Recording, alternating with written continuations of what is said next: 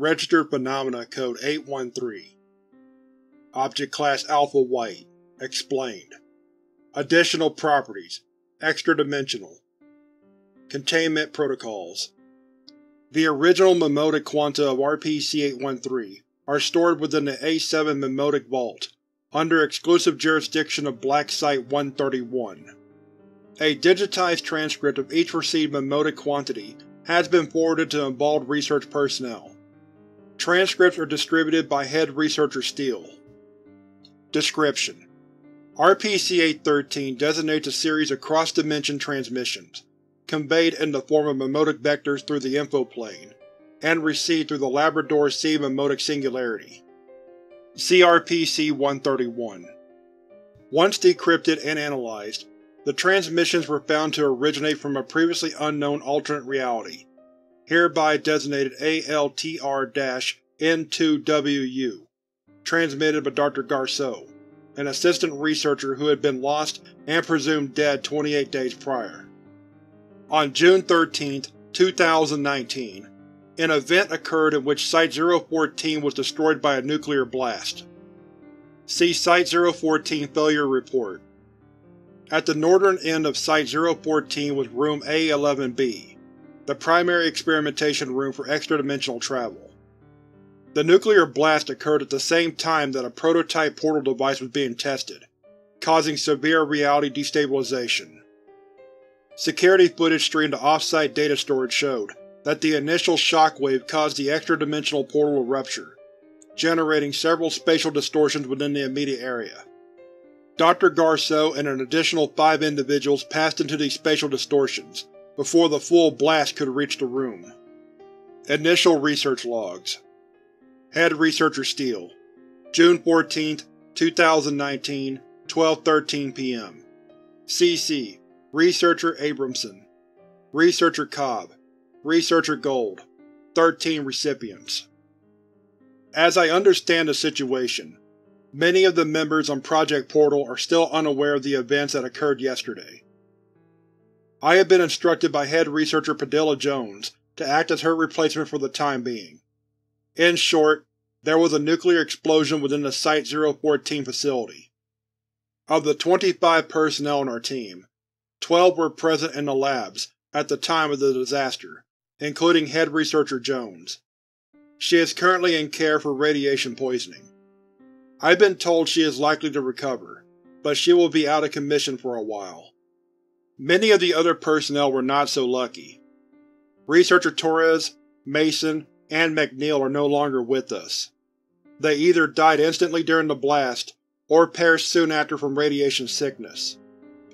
Researchers Klein and Sparks are in critical condition, and Researcher Phillips is under assessment.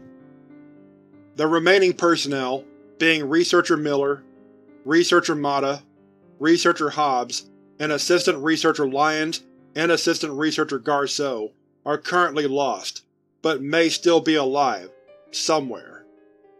The initial shockwave from the nuclear blast caused an active portal device to be disrupted, which caused a number of interdimensional rifts to be generated within the area.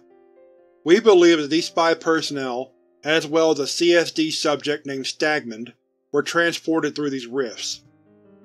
Miller and Lyons are believed to have died during passage, I don't know how to sugarcoat this, so I'll say it outright.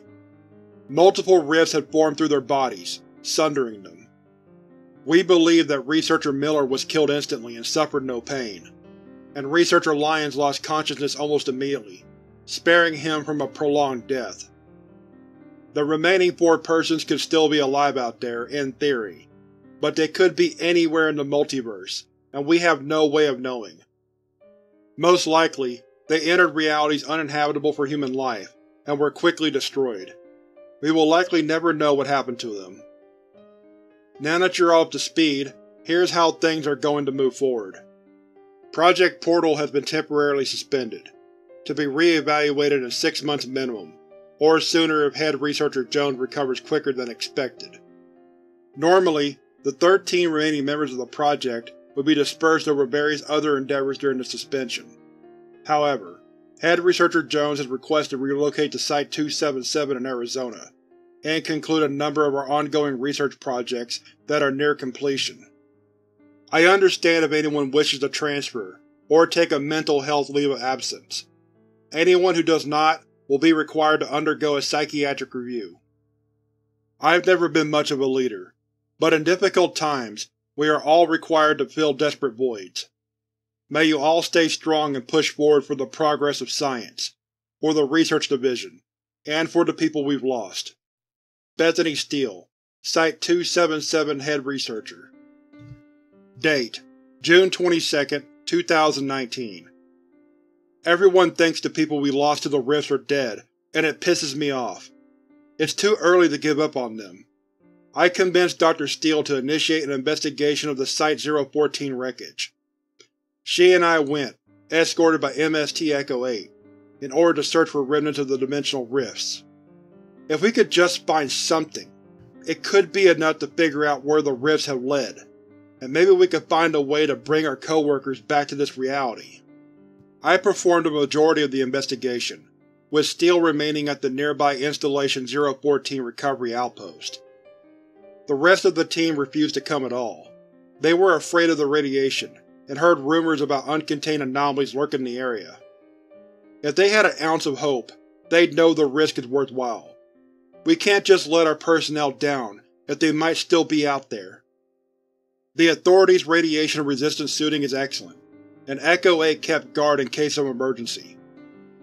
Every moment we waste makes recovery less and less likely, so there was no time to wait for the radiation to dissipate, and for every single lesser anomaly to be recontained. Unfortunately, we didn't have much luck with the investigation. There didn't seem to be any remnants of the portal rifts. We'll just have to keep focused, and hope something comes up. If any of them are alive, they may be able to make contact with us first. I can't speak for most of them, but I know Dr. Garsow very personally. If he has the means, he'll get back. He'd never stop trying. Assistant Researcher Bentham Cobb Date: June 24, 2019 Most of us are very pessimistic towards the idea of saving anyone. Bentham is the only person who really gives a shit anymore. A few people left the team to work elsewhere, and I can't blame them. There's not much left to work on here. Maybe this is a sign from the universe that the Authority isn't meant to develop portal technology. Bentham really wants to believe they're still alive in those alternate realities they travel to, but it just seems so impossible to me. They probably all suffocated to death after appearing in the middle of empty space, or burned to death after appearing in the middle of a star, or were obliterated upon entering an unstable reality that can't support the existence of organized matter. The odds of anyone appearing somewhere they can survive is incredibly slim. Bentham is hoping for a miracle at this point. That kind of untempered optimism makes it a lot more painful when reality eventually hits. He's a very compassionate person, so I doubt he cares about every person we lost. But I can't help but suspect Bentham is pushing so hard for Garsow in particular. He cares an awful lot about getting Garsow back. I went through a similar experience years ago. Ultimately, it's best to accept when a loved one is gone, and to move on with your life. I accept that our co-workers have passed, and I find solace in them being at peace.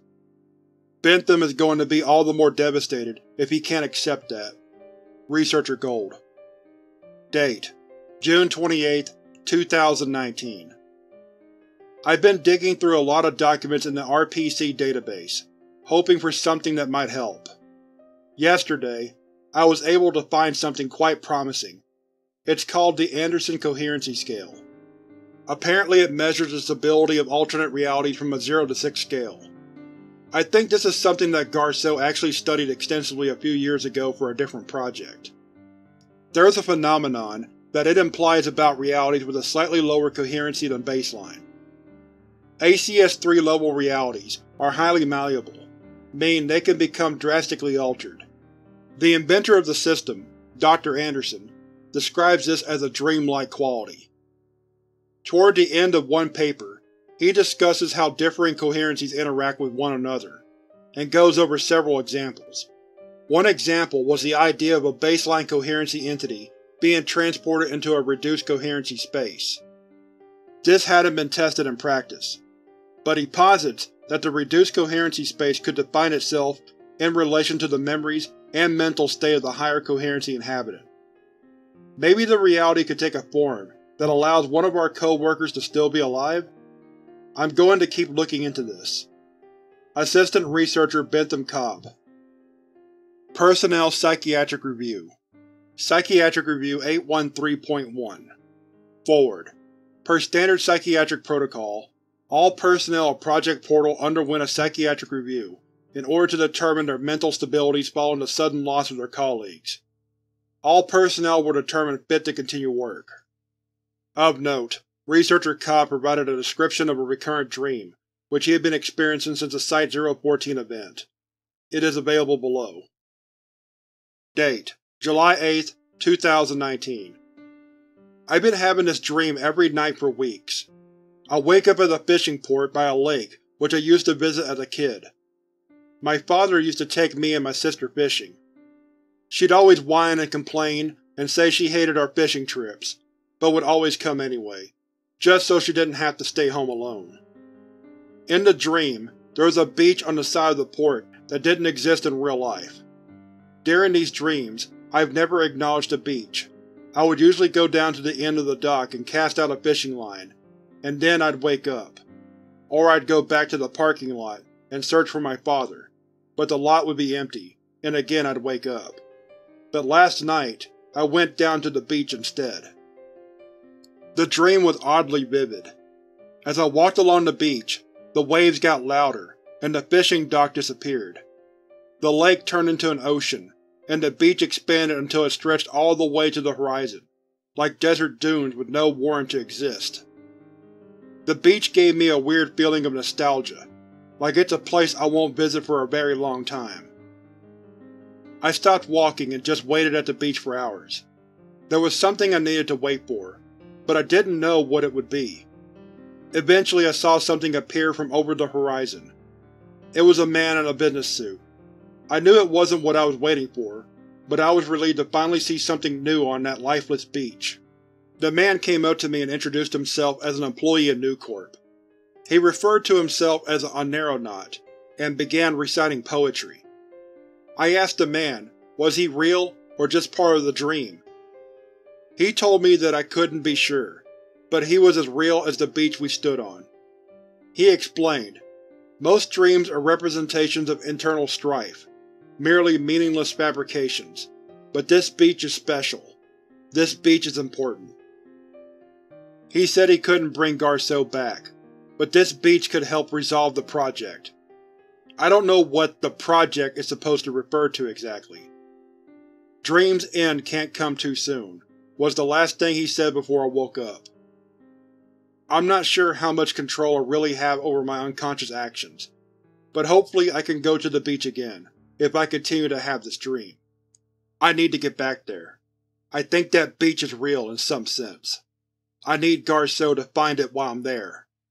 Assistant Researcher Bentham Cobb Conclusion It was decided that Researcher Cobb would be allowed to continue work on the team, despite the unusual dream. The RPC-813 transmissions are transcribed below, catalogued chronologically with additional research logs included. All content has been left unaltered. Document RPC-813-1 Test Number 407 Testing, testing, pee pee poo poo, why won't you just fucking work? Oh shit, it actually went through. Apologies for that. My name is Dr. Henry Garsow. I am an assistant researcher on the Portal Project. There was a blast, an explosion of some kind. That's the last thing I remember before ending up… here. I need to make this quick. I'm doing this all from my phone, and I'm on 15% battery, dropping fast. This place is bizarre. Everything feels wrong. It shouldn't exist, and it shouldn't be stable, yet it does, and it is. Well, only barely stable. Everything is off in this world. Topology doesn't make sense. It's like an optical illusion has been forced into physical reality. Light doesn't work correctly. Shadows sometimes go in the wrong directions. Objects and areas often grow vibrantly. You know what? I should be able to send an image. Hold on. I took this picture a few days ago. That dock is holding up an entire landmass, fit with houses, trees, and cars. It's not a perspective thing. I went down to the shore to check. It's like three different scenes bashed together. That water looks like the shore of a beach, but it's actually the side of a river. But the bridge didn't even reach the other side. It stopped halfway in mid-air. No supports or anything, just floating. Phone's at 3%. Sending that image must have drained a lot. I'm an idiot, should have expected that. I'll get to how I was able to establish communication. I've studied ACS since before joining the Portal Project, and it turns out one of my conjectures may be accurate. It's very easy for matter and information to transfer from a low-coherency space to a high one. This would explain why Project Portal has been so unsuccessful. Meanwhile, we get anomalies coming from low-coherency alt-realities all the time. I was able to establish a connection using a radio transmitter and a makeshift extra-dimensional portal unit. It's all very hacky. It sends angled vectors through the info space, which bounce between the info planes of individual realities. I had to build a radio myself with bought parts. Once you've obtained this world's reality signature, I think you'll be able to get me out of here. Hopefully these transmissions provide the data you need for that. If you're able to establish any kind of connection, please send me some kind of signal. I've been trying to find a USB charger the last few days, but none of them seem to work, not to mention how unhelpful the store clerks are. Strange how I've been using my phone for days, and only now is it running out of charge. Maybe batteries last longer here for some reason. Or for no reason. Seems like things don't need reasons here. Rational ones, anyway. 1% now. I need to go find a way to charge this phone. Oh, and one last thing. I need Bentham to know I'm alright. Date: July 11th, 2019 This is so important. I need to write something in my journal, but I can't figure out how to express it all. I just can't believe it. We'll begin working on finding the reality signature immediately. Assistant Researcher Bentham Cobb Date: July 11th, 2019 Would you look at that? Bentham was right. He was ecstatic when we found out about the transmission. I feel almost foolish to have accepted the end so soon. Maybe things will turn out alright. Researcher Gold Document RPC-813-2 Transmission received, July 12, 2019 I'm back, and my phone is fully charged. Simply placing the phone next to an outlet caused it to start charging. No need to plug it into anything. I'm getting the feeling any tech I construct is going to be hit or miss. It's a miracle I got this transmitter working. One thing I should mention that caught me off guard about this place. There's always music playing. Disembodied music. No apparent source. It feels a bit eerie. No, eerie isn't the right word. It actually feels kind of normal. It doesn't feel out of place at all. This reality is too random and nonsensical for anything to be out of place. I recorded a bit of the music using my phone. I should be able to send an audio file. Let's see. Yeah, sweet. I'm going to continue, so you might as well listen as I go. Fair warning, you might need to adjust the volume on that.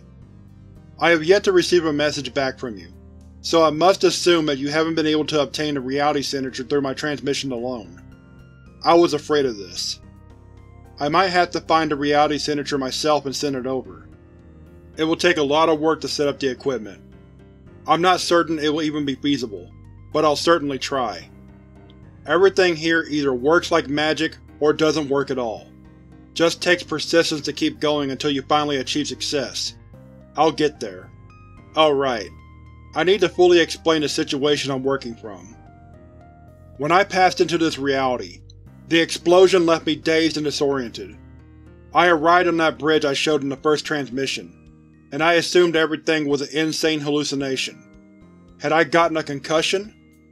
But as the dizziness wore off, and the hallucinations didn't dissipate, I realized I was in some deep shit. I sat on the side of the bridge for a long time, horrified that reality itself would fall apart and consume me at any moment. Eventually I was able to convince myself that I wasn't in immediate danger, and that I needed to get my bearings. I crossed the bridge with a huge cityscape. From where I stood, it looked as though half the city was lit at overcast daylight, the rest at early nightfall. The backdrop sky abruptly transformed from late evening to a rich blue cosmos. I'll send another photo. There is a lot of weirdness in this photo, but what is most interesting to me is the tallest skyscraper around the middle of the image.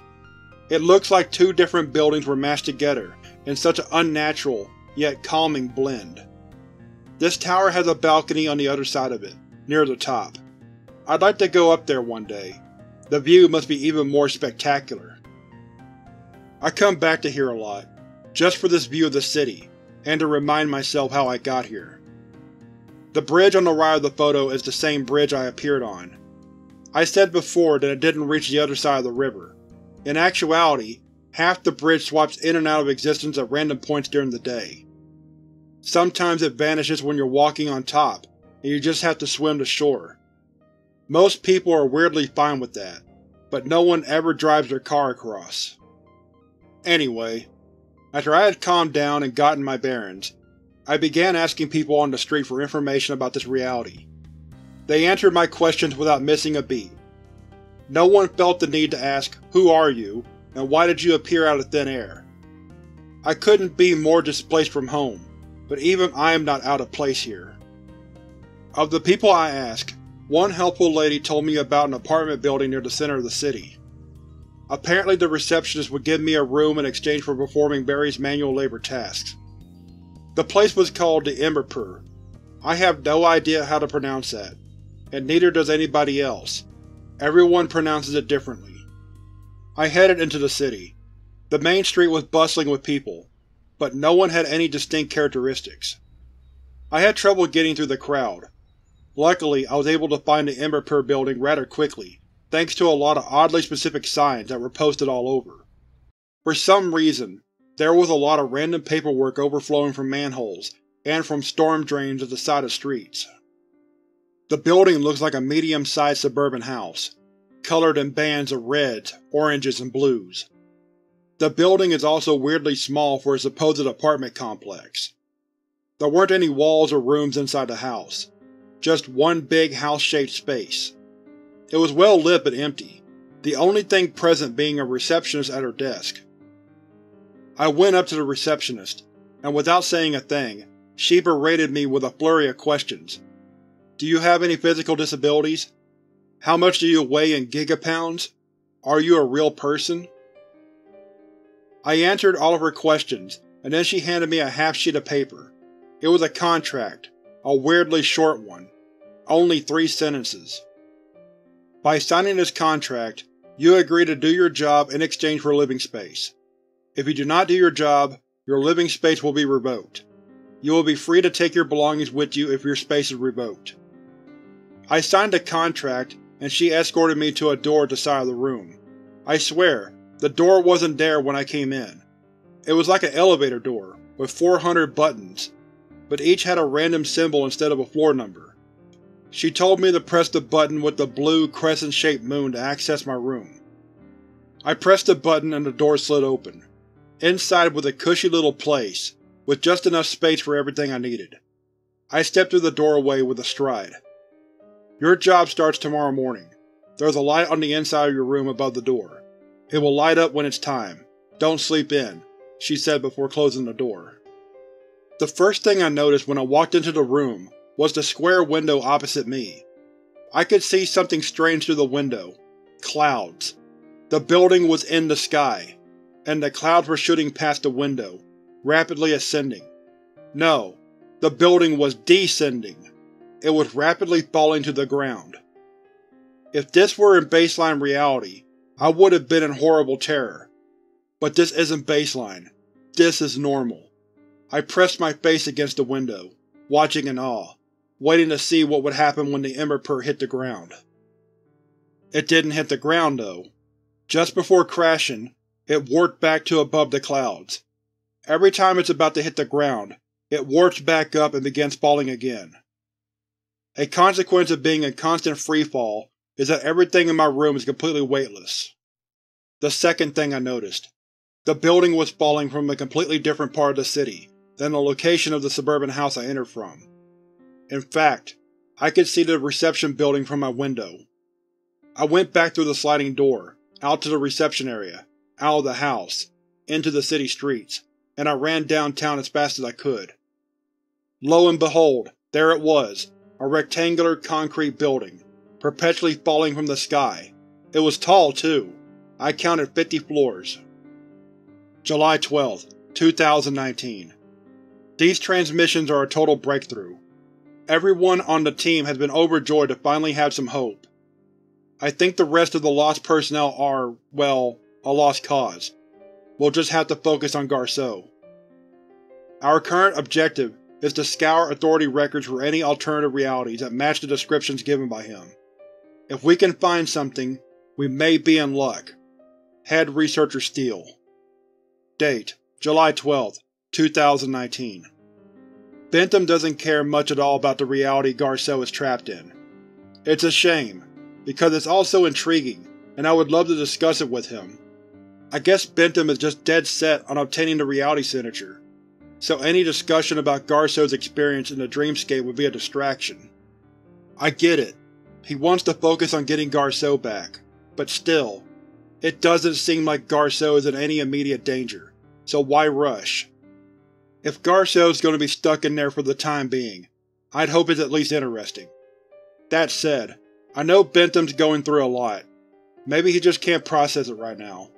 Researcher Gold Date: July 12, 2019 I don't think there's any way to obtain the reality signature from these transmissions. It's just raw fucking data. There's no context. They're practically appearing out of the ether. I don't know if there's anything we can do directly. We'll just have to hope Garsow finds a way to relay the reality signature. But I suspect it won't be as easy as sending any other message through. I'm sure he'll find a way to do it no matter how difficult. Maybe if we finish Project Portal, we'll be able to open the gateway by the time he is able to send us the signature. Assistant Researcher Bentham Cobb Document RPC-813-3 Transmission received. July 14, 2019 At this point, I'm certain you can't get the reality signature, but there's still other ways I could get home. Plan A. Constructing a Richter MI reader in order to obtain the signature of this reality. I should be able to send over the reality signature the same way I'm transmitting these messages. Then you create a portal to bring me back using the signature. Backup plan. I build the portal myself using baseline reality signature. If Plan A works, I won't need to construct a portal myself, but you'll need to finish Project Portal. If I recall, the estimate for when we'd develop stable portal technology was quite a long time from when I left. It's possible that time travels slower in this reality relative to baseline, meaning it may only be a short while from my perspective before you are able to construct a portal to bring me back. But the opposite may be true. It may take far too long or never be completed. For the backup plan, I'd need to use my own matter in order to obtain Baseline's reality signature. If I take too long to create the RMI reader, my matter will have mixed with that of this reality to the point that no signature can be produced. I only have a couple of months before my nails, hair, skin, etc. are useless. Internal organs could remain pure for longer. Maybe I can get someone to cut out part of my liver. I also have my baseline clothes I came here with, but they might end up being lost to this reality before I get the chance to pull out the signature. It's been a few weeks since I arrived. I'm so fucking homesick. I know I'll get back soon. I need to. Date: June 14, 2019 If we can't find any record of the dreamscape in the Authority's ALTR files, Returning to Project Portal may be the best course of action in order to bring Garsow back. I think we have very few options, and it's getting hard to know what to do. We'll get him back somehow. I don't even want to comment on the internal organs part. We can bring him back before he gets to that point. Assistant Researcher Bentham Cobb Transmission received July 15, 2019 The Imappear's jobs have been… interesting. There's usually three or four a week. The first job was to go down to the empty lot underneath the Imapper and clean up all the broken furniture. Apparently, anything people lob off balconies or out their window doesn't get warped back up with the building. It smashes into the ground below. One of my neighbors said there used to be a bakery here, before the Imapper existed, but there was a zoning issue when they tried to get the Imapper apartment project through city approval. The city ordered it to be built at the same lot as the bakery. It would have taken ages to get city management to sort out the conflict, and of course the Imapper guys couldn't just bulldoze the bakery. That'd have to go through city council as well, so naturally they built the apartment above the bakery. Thing was, though, the bakery didn't have a roof. That was their whole stick. They were that one bakery that didn't have a roof. Customers didn't like all the furniture constantly crashing in from above, so the bakery owner put a giant net over the building to catch all the furniture, but that drove off customers too. They were coming to the bakery for the open sky experience. The net ruined that for people, so customers stopped coming, and the bakery went out of business. Over time, the consistent pelting by furniture destroyed the building, and now it's just a bunch of rubble. But the old owner is stubborn, and won't give up the land rights, so even though there's nothing in the lot anymore, the Imapper can't put the apartment on the ground. Oh, and I have no idea why all this furniture is dropping. Everyone says it's a rare occurrence and never on purpose, yet it happens enough to be a monthly chore to clean up the ground. Who the hell is throwing entire beds off their balconies by accident? Transmission received July 16, 2019 Earlier today, I traveled across the street from the Imapper's reception building and went into a coffee shop. The menu was an unreadable, shifting garble of text on an orange sign, yet I was still able to understand what it said somewhat. Even though I could read some of the menu, I didn't know what any of the items were. I told the guy at the register, just give me something average. I'm not much of a coffee person. He takes a cup of water and pours it into the back of the coffee maker. Then he grabs a little foil of coffee mix and places it into a slot on the thing. He presses a small red button on the machine, and a stream of coffee comes out, except it flows upwards instead of down, as if gravity was reversed. And you know what the guy does? He shrugs his shoulders, rolls his eyes, and grabs a mop to clean the ceiling. It was so mundane to him, like it had happened a million times before. I say to him, that must happen a lot. His reply surprised me, this is the first time it's ever happened. So I say, all these crazy things happen, and you aren't the slightest bit afraid? At any moment, something could happen that could hurt you, even kill you, and you don't mind? He replies, Not sure what you mean. I don't really get hurt. Maybe bad things just don't happen the way you think they do. Then I say, Huh. I just got the strangest sense of deja vu. I think I remember having this conversation before but I expected you to say something else. That kind of thing has been happening a lot lately. I think it's got something to do with that weird company showing up. New corporate industry, I think. I say, huh, I'll keep an ear out for that name. Kinda rings a bell, actually. He made me another cup of coffee, and it came out normally this time. It was pretty good. He said it was a cappuccino. Date: July 16, 2019 Quite fascinating. I wonder if it would be possible to use low coherency environments to read untranslatable text like this. Something to consider for future projects. I shared this idea with my colleagues. Dr. Bray was quite interested, but Bentham was a bit displeased that we were off task. Researcher Gold Date: July 16, 2019 Was he talking about New Corp Industries? How strange. I wonder why they would exist there. Maybe the new corp and baseline could help somehow. I'd have to convince Steele to make some kind of communication, though. Let's just keep digging for alternate reality records for now. We're getting close to completion on that, but still no finds. Assistant Researcher Bentham Cobb Transmission received July 28, 2019 There's this mall that I went to today, near the far east of the city. I was hoping to find an electronics store as I was in need of a lot of specific components for the RMI reader. The entire first floor of the mall is upside down. I can't get any answer as to why. The first floor stores all had to have their furniture on the ceiling, which is actually the ground since everything is reversed. As a consequence, you could stand on top of the recessed lighting and cause the room to dim. Other than that, there isn't much I have to say about the mall. I ended up finding a library and didn't explore the rest of it. I spent most of my time there reading about this world's history, which is unbelievably rich. There's whole empires and dynasties, cultures and regions, places unlike anything from Baseline. Apparently in this reality, the Roman Empire only lasted 13 years, and in that time they went through over 20,000 rulers. North of the Roman Empire were several Chinese dynasties, which somehow existed between the Mediterranean and Europe. In the Americas, the Aztecs lived inside the Andes Mountains, like the dwarves from those books by Randolph Gowring. In Canada, there is apparently a kingdom of snowmen which still exists to this day.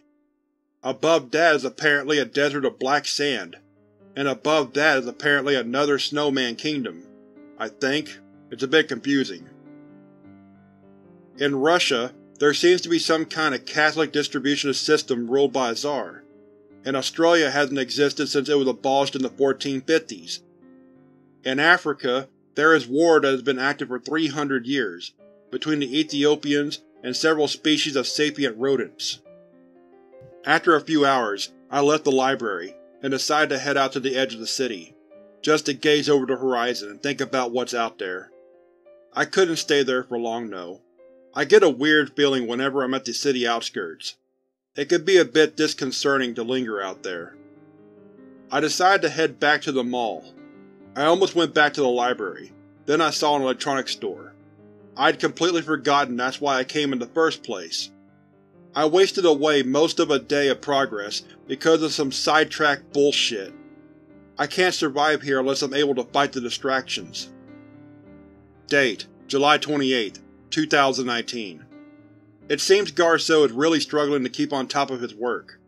I can't imagine how difficult it must be to keep track of everything in such a chaotic environment. Hopefully Garsow can keep everything in order. Maybe there's something inherent to this reality that's inhibiting his productivity.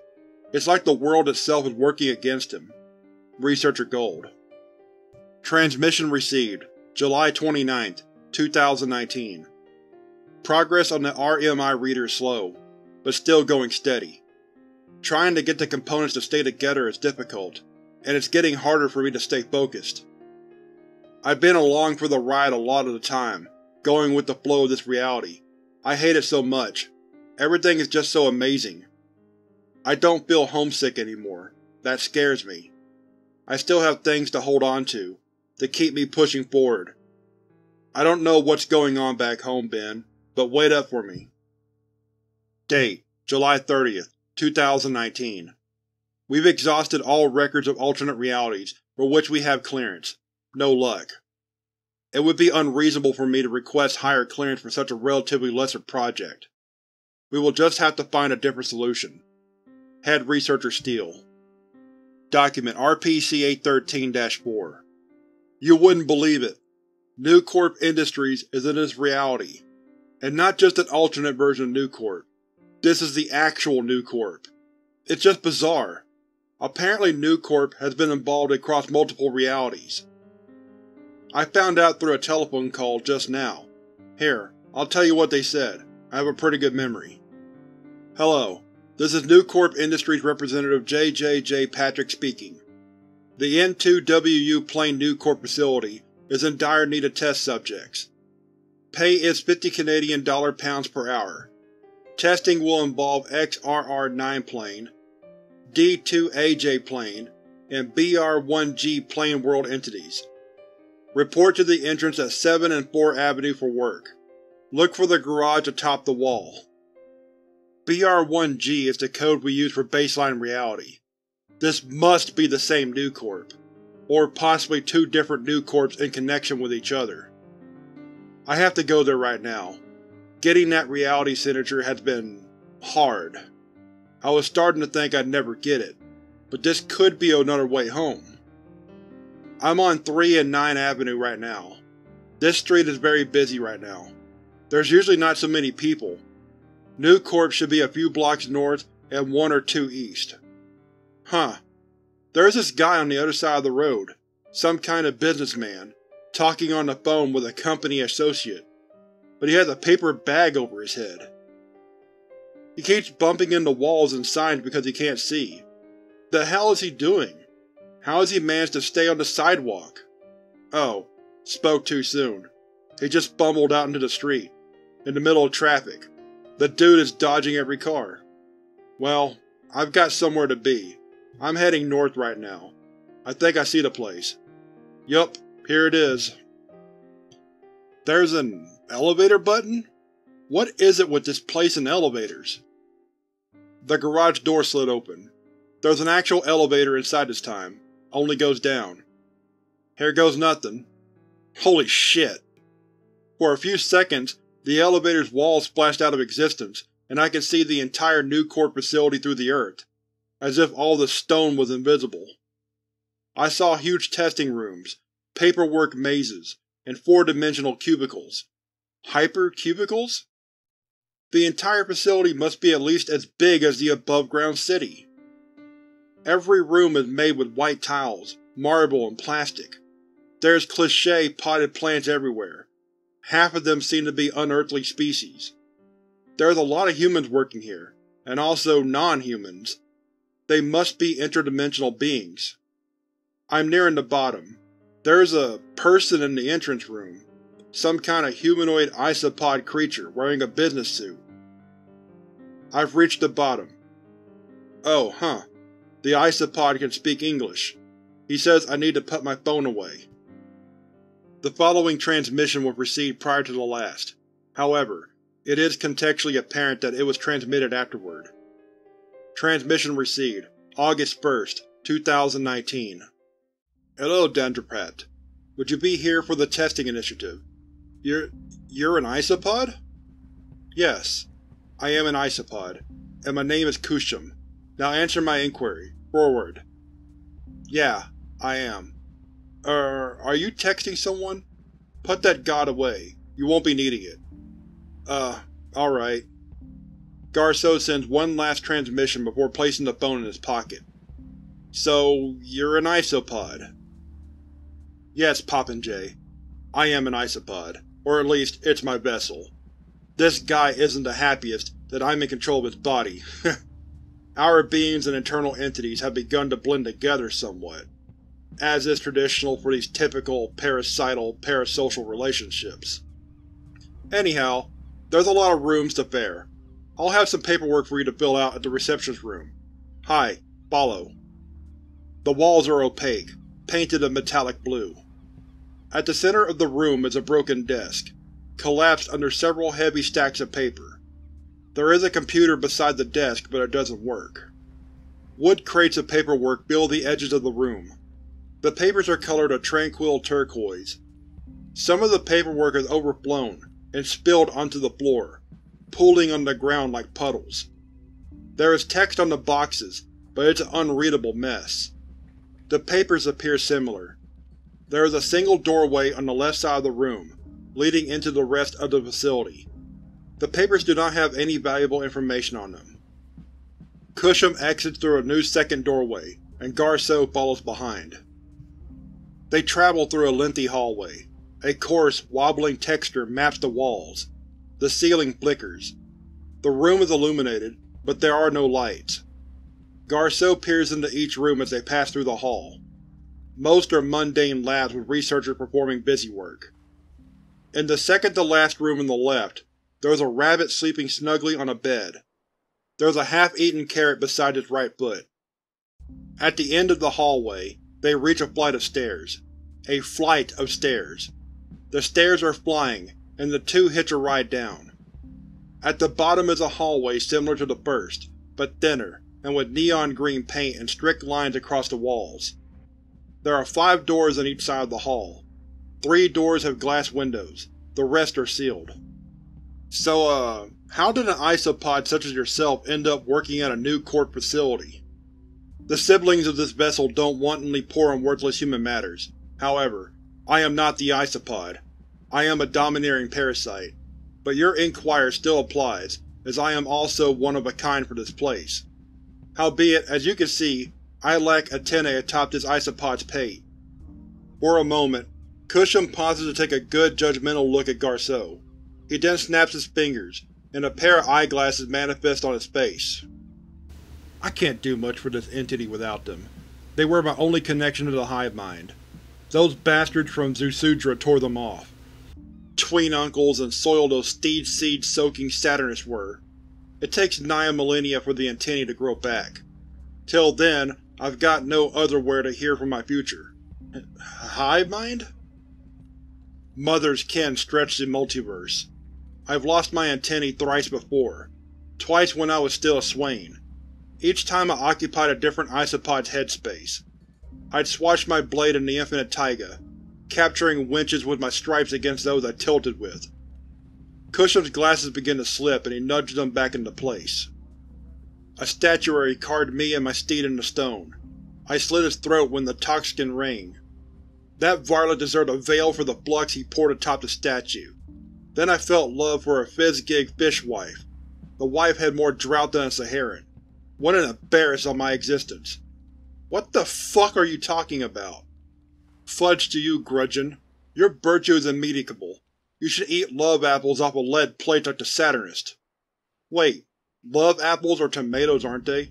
You're talking about how people used to die from lead poisoning by eating tomatoes off of dinner plates made of lead. Zounds, ye aren't dumb as a plowed yoke after all.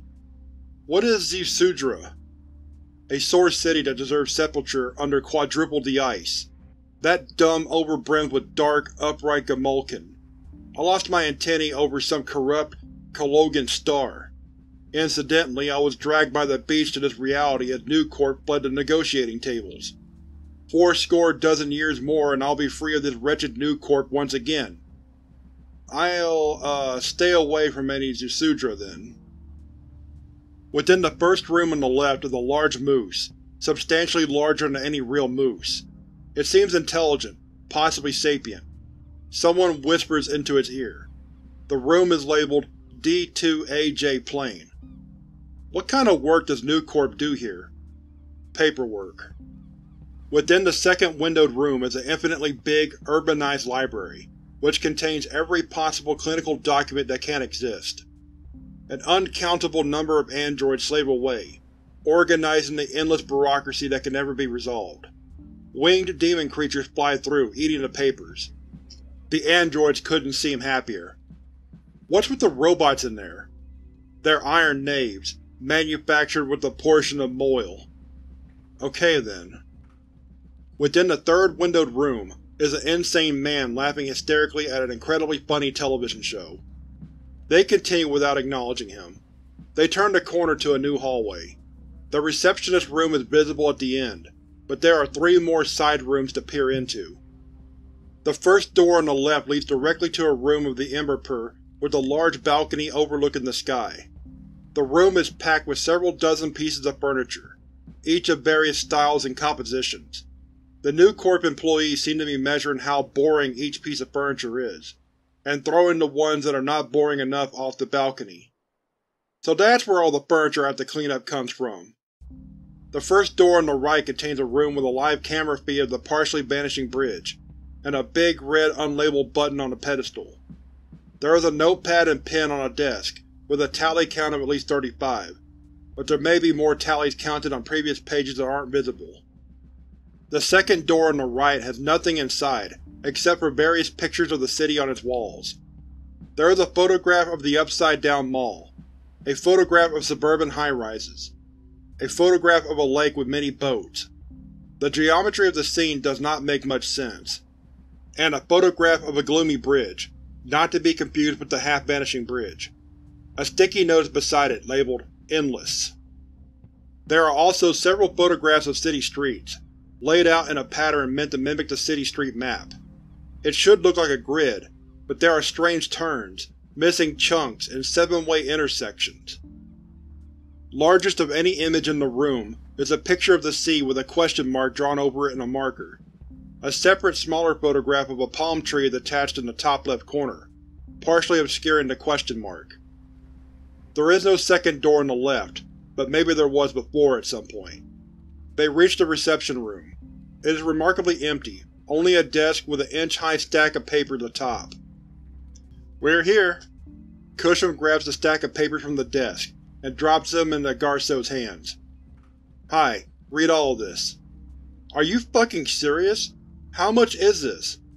Are you an illiterate horsecoper? Just read it.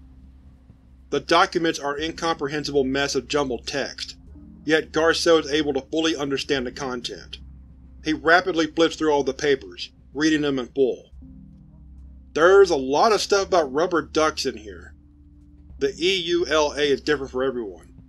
Listen man, I'm up for anything you can throw at me if you can bring me home. I'm not from this reality. I just really need to get home. I'm kinda desperate at this point. It's been hard. Um, no. I don't believe I'm able to help you. Please! This is my best shot. You have to do something. Er, uh, um, I see. You're quite the unfortunate one, aren't you? To be trapped in a reality as doomed as this. I feel ruth for you, I must admit. Natheless, it would be quite the amount of paperwork to bring you home. Nucorp Industry prides itself on its existence across all of the multiverse. However, true multiverse power is only visionary. Cusham's glasses nearly fall off his face, but he manages to catch them and put them back into position. Nucorp is an infinite bureaucracy. The chance for any request on cross-reality matters to become entrapped within inner-core logistics for all of eternity is substantially high. You cannot conjure me to bring you home, but I can be of some assistance to you still. Cusham takes a chewed wad of gum from his left pocket and sticks it onto Garsow's phone. The gum folds over the entire device's circuitry and metal pieces rises from inside. There. You should have a lot more capabilities on that gadget now, and not for a doit. To note, this entire discussion has now been indicted into auto-generated text, including descriptions of all scenes and actions. Wait, really? How the hell did it record the conversation before you put that thing on? Timeline and cross-reality nonsense go hand in hand here. Also, your device is now optimized for cross-reality information throughput.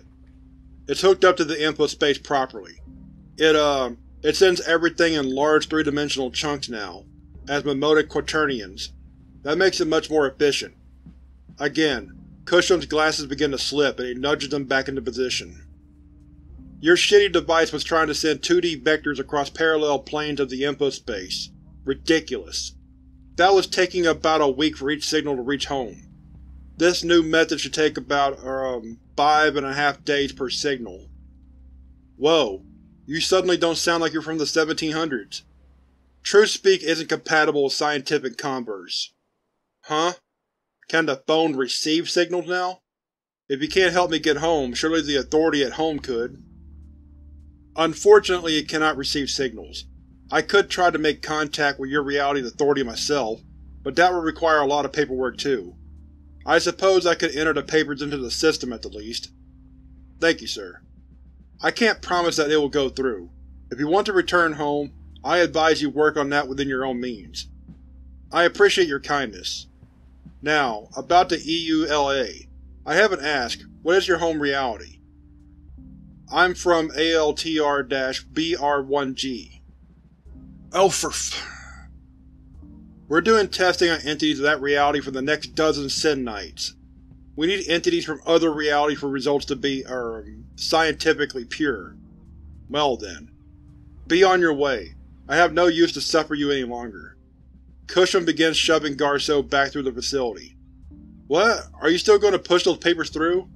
Yes, yes, I will. Just get out of here. I'm expiring from your nerdy voice and ridiculous apparel. My nerdy voice? You sound like a prehistoric wizard. And what's with the fucking glasses that keep slipping off your face? They are anti-glasses.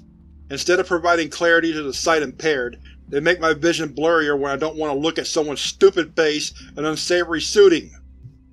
I have to say, this automatic transcription feature is absolutely amazing.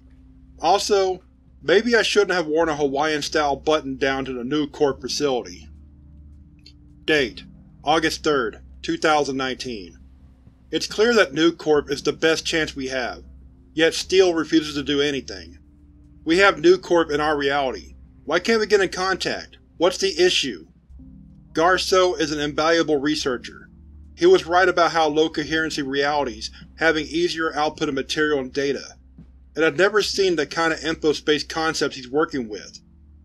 I don't think anyone had thought of visualizing every info plane of the multiverse as a stack in a 3D space. A researcher this valuable is certainly worth a damn phone call to New Corp. Assistant Researcher Bentham Cobb Date: August 4, 2019 A few researchers have left the team. Dr. Bray actually went to work on the low-coherency text translation concept with the lettermen at the cryptology department.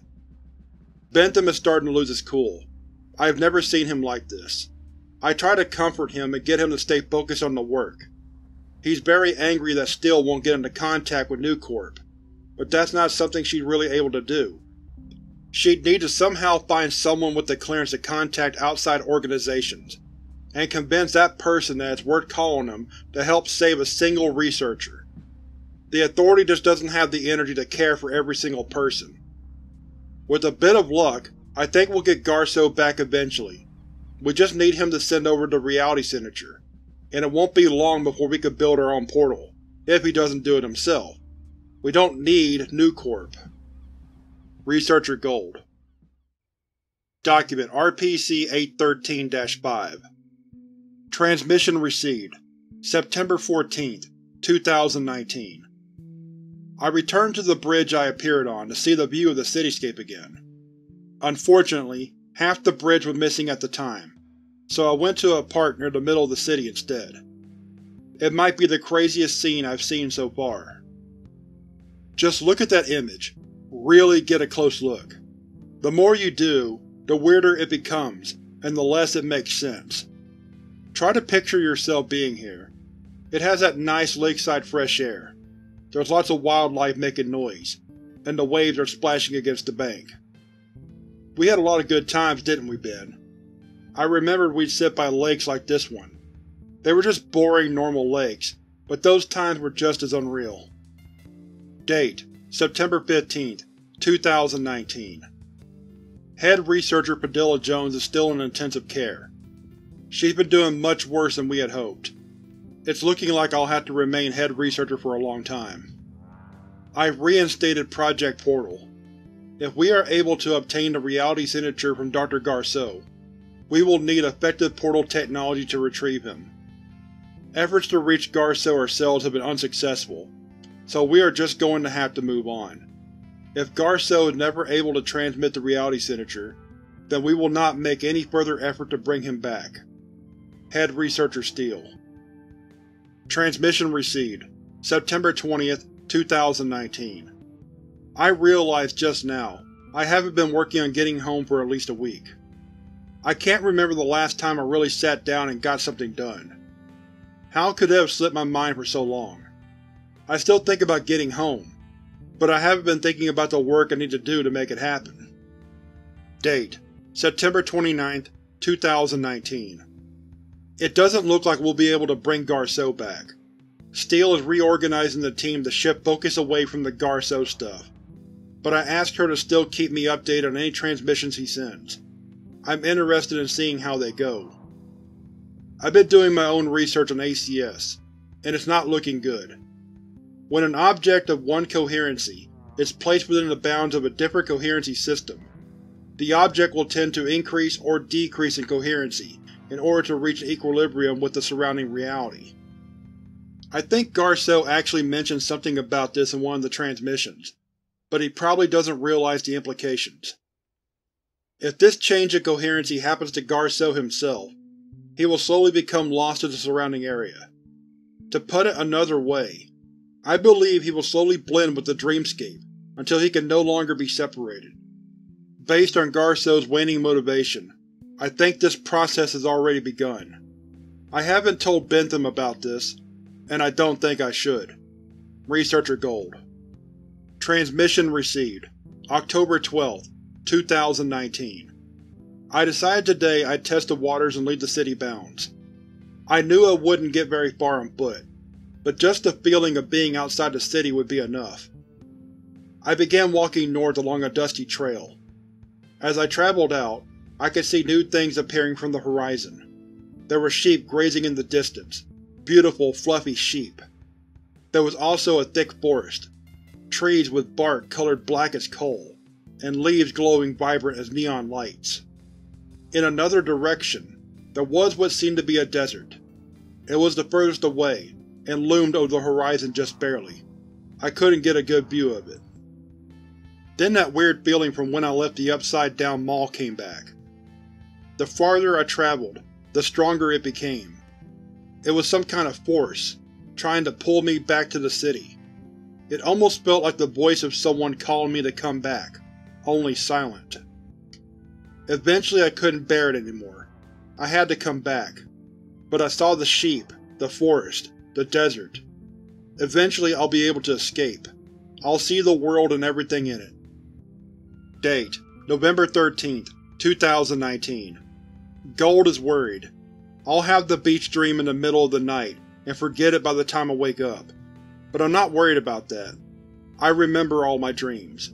Researcher Bentham Cobb Transmission received November 22, 2019 I had a very weird dream last night. Weird even for here. The details are blurry, and I almost have the feeling like the events of the dream happened in real life, in a strange, broken sense. I recall a man with a bag over his head, stumbling through the street. I traveled up a long flight of stairs, much longer than it should have been. Or maybe it was much too short? Anyway, I reached the top and met a little dragon lizard who could speak. He called himself Zuku, and operated his giant machine which could control the weather. I watched him spin knobs and flip switches. The clouds danced in the sky as I gazed through a porthole window. Lightning bounced from cloud to cloud. It was so elegant and beautiful. The lizard stopped and asked me to leave, but only after I said something about sushi not sure what. Then I entered another room and met someone who claimed to be a member of the Directorate. They had their own version of the Authority. Since I had this dream, I've tried to find that building or any indication that this city actually has its own authority, but no luck. When I woke up, I realized my auto-transcriber had a fresh file loaded. Somehow it had recorded part of the dream. I'll send the file. It seems like it's only recorded a single section of the dream. I don't clearly remember anything that happened before or after, so the context is a bit lost on me. Garsow leaves the room, and continues ascending the stairs for about 50 more levels. At the top of the stairwell is a double door with a big triangle marking on it. It's the Authority logo, but turned 90 degrees, pointing to the right. The door is unlocked. Garsow heads inside. It's a small meeting room only one person within, wearing slick black attire. There are gizmos and machines all around the room. This is the Authority? Yes, the Directorate to be precise. I'm the only GD at work today. You just are in this building? All the doors left unlocked? Out in the open? No secrecy? Of course. Why would we need to hide? It's counterintuitive. If you're locking up all the dangerous anomalies in the world, wouldn't people feel safer not knowing the dangers exist in the first place? I don't follow. Anomalies? You don't… you don't know what an anomaly is. I know what the word means, but you seem to be using it with some special connotation. We saw how you originated here, through a portal. I assume your home universe is very different.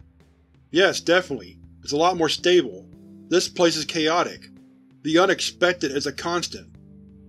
I take it you worked for an equivalent of the Authority, one much grander. We've been keeping an eye on you. It's clear you're not a threat, so we left you be. Of course, I would never harm anyone on purpose. Did you have a reason for coming up here? Oh, right. I was curious about the weather repeating. In my home universe, weather is chaotic and extremely messy, near impossible to track and predict with total accuracy. Yet in this reality, where everything is chaotic, the weather somehow isn't. We keep the weather consistent so that people feel secure. Storms bring fear. Rain brings sorrow. It's human nature. We've gotten rid of all that nasty stuff. We also blast music all throughout the city. It helps especially with keeping people unproductive. And then the third thing we do is destroy all dangerous aspects of our world. We have a thing for that. A big toad with telekinetic abilities. His name is Garcook, and he lives in the basement. Wait, what? Did you say unproductive? Why are you keeping people unproductive? This world is a chaotic mess. Productivity breeds conflict, which breeds fear and instability. For a world to be functional, either reality or society needs to be stable. The former isn't an option for us, so we control what we can. How can you be so sure? We believe Garcook is able to see the future. Huh, you know what? That makes a lot of sense. I'm talking about the productivity thing, not the toad. The magic toad makes no sense at all. Anything else you wanted to ask? Yes, one thing. Why do you keep all this a secret? And why am I allowed to hear any of this? I already told you, we don't keep it a secret. Everyone I ask about the music and the weather have no idea why things are this way. Just because it isn't common knowledge doesn't mean it's a secret. You're just the first person to ask. I have no idea why I thought the weather was predictable here. That isn't the case. The weather has never been a repeating pattern. It's just as chaotic as in Baseline. I'm quite fascinated by the idea that the music has a source though. I hadn't even considered that. I remember that during the dream, after I left the building, there was music playing on my walk home. I can still recall it vividly, like it's ringing in my ears. Could that really be fabricated for a dream? How could none of this have actually happened? On the other hand, how could any of it have happened? It doesn't make sense. Hold on, I think my phone actually recorded that music as well, the same way it recorded that section of the dream. I'll send the file. Transmission received November 23, 2019 Every audio file I record, every photograph I take, everything. The sea is always there, but it isn't real. It's nowhere. I think I have to find it. I have this feeling like I've never felt before. I need to find the ocean. Date: November 23, 2019 I haven't been able to have the beach dream in weeks. I think it's gone. It's just gone. I'm so sorry, Garsow. I'm so fucking sorry. You need me there, but I just can't find it. I even had the dream of the fishing dock, but the beach isn't there anymore. I can't get to it. I can't. I'm sorry. Researcher Bentham Cobb Document RPC-813-6 Transmission received February 9, 2020 I can hear the waves crashing, but I've never seen the sea. If it exists, it's elusive. Perhaps it's down one single alleyway that opens out into that vast, blue expanse. I can hear seagulls calling, always, but there aren't any seagulls. The ocean exists somewhere, I'm certain of that. Transmission received June 2, 2020 No one ever dies. Nothing ever ends. This world isn't a place for final conclusions, and I'm okay with that. I went to the library today. This world has a lot of history. Important people died. Civilizations went through and through. Stories actually had endings. I'm not sure if those things actually happened, if this reality existed before I came here. Everything I experience has no conclusion. It all just keeps moving forward. There were a lot of books about dreams in the library. You can never remember the start of a dream. You're always in the middle of the story as you experience it. But surely the beginning of the dream still happened, right? If you wake up soon after you fall asleep, would you remember how the dream started? The very first moment? I spent all my life unable to fathom the end of experience, death. Now I struggle to remember the start. Maybe dreams aren't real, and neither is this place. I'm certain that I'm forgetting events now. I have a weird feeling that events are repeating, and the past is changing to fit the present. I could be in a coma. Maybe I'm okay with that. Yeah, I'd be okay with that. I am okay with that. Transmission received, July 15, 2020. I don't think I'll be coming back. Date: July 25, 2019. Bentham and I are the only ones still reading Garsow's transmissions. Even Steele doesn't want to anymore. All of us except for Bentham have accepted that it's a lost cause. We aren't going to be saving any of the people we lost in Site-014. Certainly not Garsow. But Bentham still thinks it's possible. Well, I think he knows it isn't possible, but he desperately wants it to be. Everyone I know who's worked in research for as long as Bentham has changed. Their reason for joining the Authority is no longer why they work here. Bentham is the only exception. I don't know how he's still so compassionate. He stays in the labs and keeps working, even after everyone else has gone home. It's all so pointless. He's a damn fool, but I'll admit, he has something that the rest of us fools don't. Researcher Gold Date: November 26, 2019 Gold is really trying to get me to give up on Garsow. I'm sick of hearing it. I'm not going to give up on him no matter how much it hurts me. I owe it to him. And it's not a waste of time for us to be trying either. We need Dr. Garsow back. I don't believe we will ever complete Project Portal without him. Researcher Bentham Cobb I just want you to finally come back. I can't move on. There's a small part of you that still wants to come back, you haven't completely abandoned me. You can still return if you get up and fight. Please, just wake up from your dream, so I can wake up from this nightmare. I so badly wish I had a way to communicate to you. I pray that you could somehow know how I feel, and what I need you to know. Please come home. Document RPC-813-7 Transmission received September 1st, 2020 I returned to the bridge I appeared on. At least I think it was the one I appeared on. I'm forgetting a lot of things. I didn't come to see the view of the city like usual. I came to look out beyond the city's bounds, to see where the only road leaving the city goes. Whatever force was keeping me within the city's bounds was gone. The outside world was a crumpled, moving mess of hills and forest. I could hear waves crashing below me and smell salt in the air, masking the city's traffic and scent. I walked for miles. The road stayed steady as the world around blurred. Then I heard a voice. You are nearing an impasse, Garsow. The disembodied voice has no clear source. Garsow continues down the road. Do you recognize me? I've never heard you before. Only the sloshing waves and cawing gulls are audible. A strong, unnatural wind pushes against Garsow's clothes and skin. We have met once, in a different time. Things turned out much differently for you. You were deeply hurting, but you wouldn't show it. A different time? I'm sure you remember bits and pieces. You're trying to reach the sea, correct? Yes, I am. This world isn't what it seems. There are no people beyond the city. No nations, empires, or history.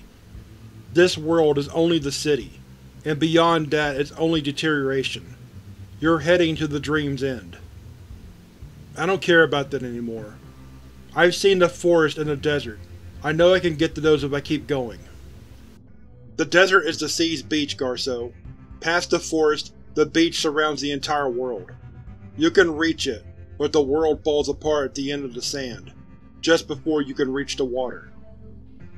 As long as I can get there, I'll do whatever it takes. Keep walking. Keep your conviction, and it won't be as hard as you think. Garsow says nothing. The ocean wind continues relentless. He continues walking. I need to reach the end of this bridge. This bridge has no end. Garsow stops. Then where am I going? Where the fuck am I going? Garcook says nothing. Huh. Fucking say something! this is your threshold to pass. Cut the crap. I didn't abandon every comfort in my life just to walk down an endless bridge while a disembodied voice spouts unhelpful bullshit. After a moment of silence, Garsow smacks his hand to his face and pushes up, running his fingers through his thin, dark hair. Then he collapses to the cold bridge floor. He lies there, unable to think, unable to count the seconds passing. Instead, he feels for when one moment becomes the next moment, and counts each moment. After thirty, the voice finally speaks. Are you dead? If only. Another seven moments. I just need something. Give me something. Why are you looking for the ocean?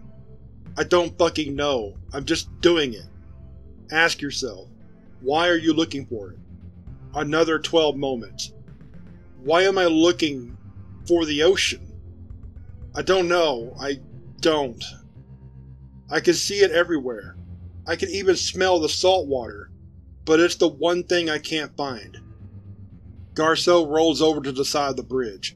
There is no wall or guardrails at the edge. He leans over to see the water below, but there's nothing down there. The bridge fades away to a white void. He turns himself back over away from the edge. Why am I searching for it? It doesn't even exist.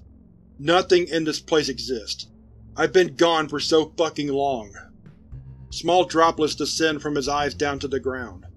The salty air was causing his eyes to water. He wipes them with the sleeve of his shirt. The tear-coated sand quickly dries up. I don't know what I'm doing here. I don't want to go home. I should feel guilty, but I don't. I don't want to go home, but I should. I don't understand why I don't feel like a terrible person for doing this to you. Garsow sits up, sand clinging to his back. For five moments, he watches the black-capped waves gently crashing. The sand at the shore becomes soaked as the waves fall, then burns up to a dry crisp as the waves recede. This is here. Everything here. This is the only thing that's real. I don't know what to say. Bentham is standing a few meters away. The fishing dock is visible a long way down the beach. The air isn't as salty anymore. I've been having this dream a lot. I don't know how, but I knew you'd be here. What happened to me? You've been in a coma for a very long time. It's so good to see you again. Bentham is choking on his words. They both cry. I'm so sorry I gave up on you. I could have come back. I could have kept working. It's okay. It's not your fault. None of that was real. What is real, then? I don't know. The New Corp researchers were able to get me here, but they said we'd only be able to do this a single time. This is a dream for me, but for you, it'll be the last part of reality. Why am I asleep? What happened? We were in a car accident. You got a concussion. We thought you were going to wake up, but you just didn't. How long has it been? Almost 15 years. Fuck. I don't want to know what's changed. I can barely remember how things were when I left. Do you remember the fishing dock I always told you about?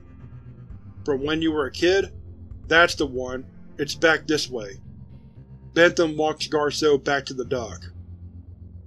Man, the planks of wood this dock is made of. Could it be any crappier? I remember how you got splinters all over your hands every time you came here. Yeah, I was a dumb kid. I always forgot that it was so splintery, so I'd rest my hands on the wood while sitting at the end. As if he ever got smart. yeah, we're both still morons. Garsow walks to the end of the dock and sits. Bentham sits beside him.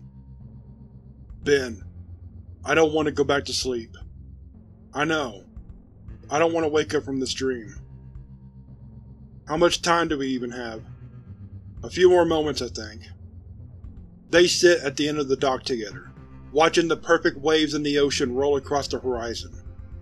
Garsow doesn't bother counting. There's seagulls squawking from the side of the dock. He can hear how the waves on the left hit the shore before the waves on the right. I thought it'd be over now. Maybe there's one last moment left. Bentham locks his arms around Garsow's body. I love you, Ben. I love you too. Goodbye forever, Henry. Goodbye. Thank you for this dream. Garsow falls back to sleep. Transmission received. September 2nd, 2020. This is the last transmission I'll be sending. You can stop trying to reach me now. Garsow begins to cry, but wipes the tears from his eyes. I don't have much to say, which doesn't feel quite right. I'm not sure what it means. There's a long pause. Don't wait up for me. Just be okay. Garsow takes the camera out onto the balcony and positions it towards the city outskirts. Grassy hills roll in the distance, folding between and through each other, matter passing through matter in contradiction. Something's different now, but I don't know what it was like before. The undulations surround the city in all directions, a uniform expanse, stretching to the horizon, sweeping and weaving. The road leaving the city rolls over hills and out of sight. The sky is painted dark blue with splotches of purple, clouds of blazing reds, fiery sunsets isolate the fluffy shapes against a sunless sky. Goodbye, Ben. A presently non-existent star lights the clouds like torches. It doesn't make sense. It doesn't make sense. There's plenty of time to watch the birds go by, and smell the fresh air. Nothing will tell you not to. Hopefully it all works out. 813 Research Interview. Interview Log 813.1 Interviewed. Researcher Bentham Cobb. Interviewer. Researcher Derek Gold. Forward. This interview was held, somewhat informally, by Researcher Gold prior to Researcher Cobb's reading of the final RPC-813 transmissions. Researcher Gold brought the transcript to the interview in order to refresh Researcher Cobb's memories of the dream if needed. Begin log. Weird, but alright. I'll do an interview. What's your interest here? The last transmission just came. I read the whole thing. Man. How do you feel? Huh? What are you talking about? Researcher Gold hands Researcher Cobb a printed transcript. He reads it silently. This doesn't make any sense. I don't remember any of this. I told you you'd forget the dream if it was in the middle of the night, didn't I? Researcher Cobb clenches his fist and incidentally snaps a pencil. No. This dream never happened. It's nonsensical. There was never a car accident or a concussion. He isn't in our reality, and there's no machine to let me enter his dream. That wasn't me who said any of that. Okay, okay. You should sit down. Researcher Gold brings Researcher Cobb to a cushioned chair. Let yourself process everything. I don't know how. What the fuck am I supposed to think? Well, think about it this way. It might not have been you, you, but a version of you had a chance to talk to him. You gave him closure. He'll finally be alright in there.